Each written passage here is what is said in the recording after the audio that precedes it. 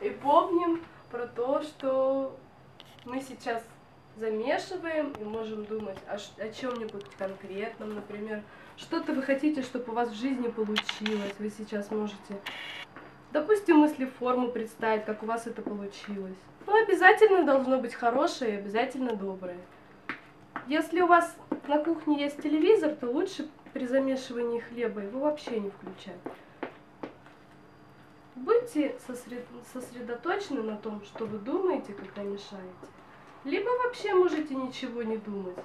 Но если вы в плохом настроении, то лучше не беритесь замешивать хлебушек. Подождите, когда у вас хотя бы спокойствие придет к вам. Итак,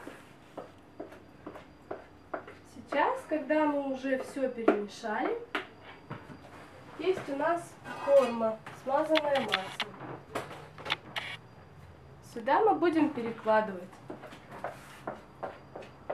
наше тесто, которое мы завели.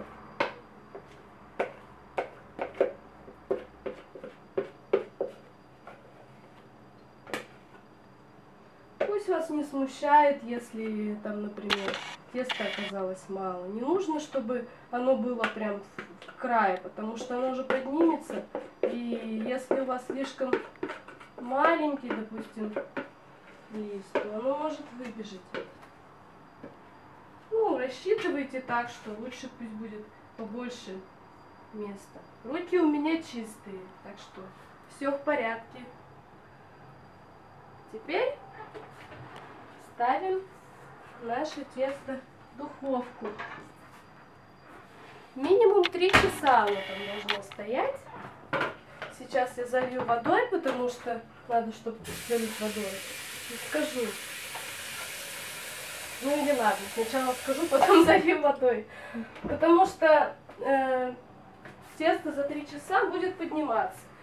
Вы его периодически подходите, смотрите, ну так, не открывая дверь, чисто через стеколку, чтобы оно не упало. И больше 10-12 часов его там лучше не оставлять.